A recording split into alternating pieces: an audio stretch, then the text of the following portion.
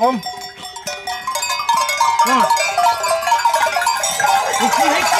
อีกที Ancora qualche giorno in alpeggio, siamo alle pendici del Mottarone e poi si torna in pianura con la transumanza, una vera e propria tradizione e un momento di festa a Nebbiuno. Qui siamo con Paolo e Susanna Tondina e con i loro animali, ma sono diversi gli allevatori che partecipano alla giornata, che domenica 29 ottobre propone un ricco programma nel centro di Nebbiuno sin dalla mattinata.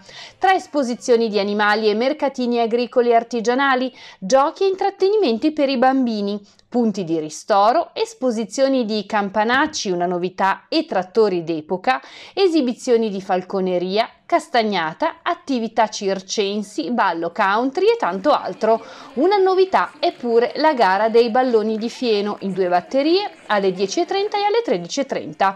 Domenica pomeriggio il clou con l'atteso arrivo degli animali in rientro dagli alpeggi che sfileranno per le strade del paese accolti come di consueto da due ali di folla.